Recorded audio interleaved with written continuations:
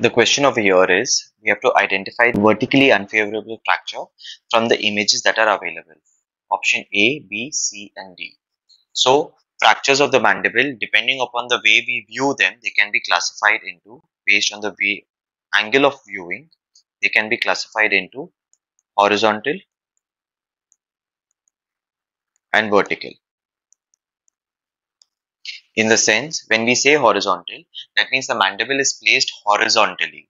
It is not about how we view it but how the mandible is placed. So basically over here the mandible is placed horizontally and that is why this is called as a horizontal fracture. Whereas over here you're looking at the patient the mandible looks more vertical and that is why this is called as the vertical fracture. Okay. So based on the mode of action and when we say what is a favorable or an unfavorable fracture is, if the fracture is able to reduce itself, that is if it is a self-reducing fracture, then it is called as a favorable fracture. Whereas if it is not unable to do so, it becomes an unfavorable fracture. So horizontal can be favorable or unfavorable. Vertical also can be favorable and unfavorable. So what happens is, how do we identify whether a fracture is a vertical, a favorable or an unfavorable fracture is it depends on two factors. One is the mechanism or the physics of the muscles that act on the bone and the second is the line of the fracture that is the direction of the line of the fracture. So as we know the in the angle region the mandible has provides insertion to two muscles. On the lateral aspect it provides an insertion to the masseter whereas on the medial aspect it provides insertion to the medial pterygoid. So both the muscles help in upward pull that is closing of the mandible. So if they are involved in closing of the mandible they are going to be pulling the mandible upwards. So this is the direction of pull. In such a case if the line is also in the direction of the pull. If the fracture line is also in the direction of the pull of the muscles, the fragments can very easily separate and it is very going to be very difficult to reduce them. And in such cases, we will have to do an open reduction. So this over here, if the pull is in this direction, if you see there is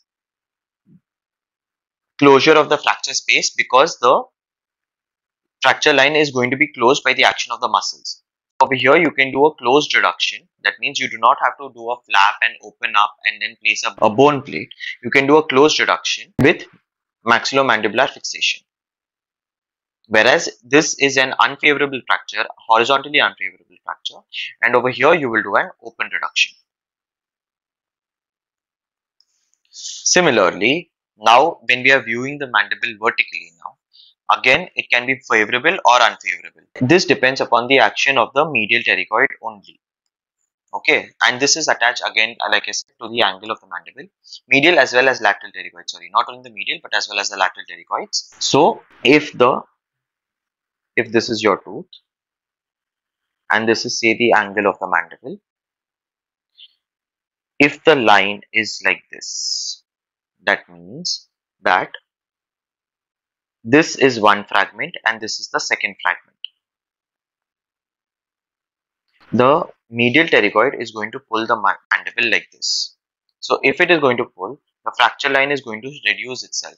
So this is a vertically favorable fracture whereas this is a vertically unfavorable fracture because you can see that there is further separation of the two fragments of the mandible. As a result, this would require open reduction whereas this over here would require closed reduction. So the answer over here for a vertically unfavorable fracture would be option B.